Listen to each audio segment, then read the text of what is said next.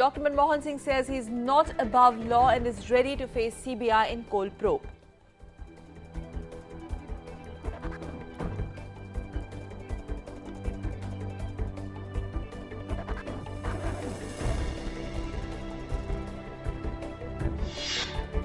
Interministerial meet on coal block will review the performance of 14 mines allotted to private firms today.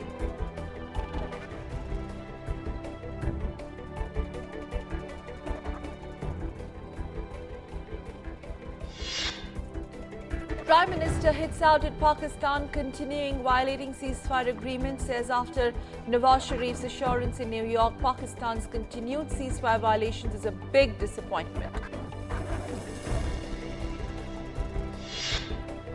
US President Barack Obama backs Indian concerns on slow progress of 2611 case in Pakistan.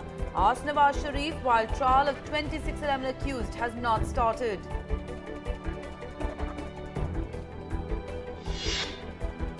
Centre announces package of over 900 crore to Maharashtra for damage to onion crop this season. NAFED to sell onion on no profit, no loss basis in Delhi.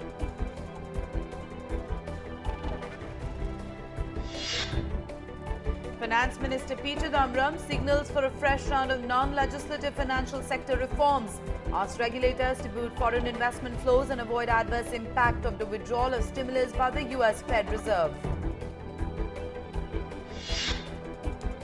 In a landmark case of medical negligence, Supreme Court has asked AMRI Hospital to pay rupees 5.96 crore compensation in the Anuradha Saha case.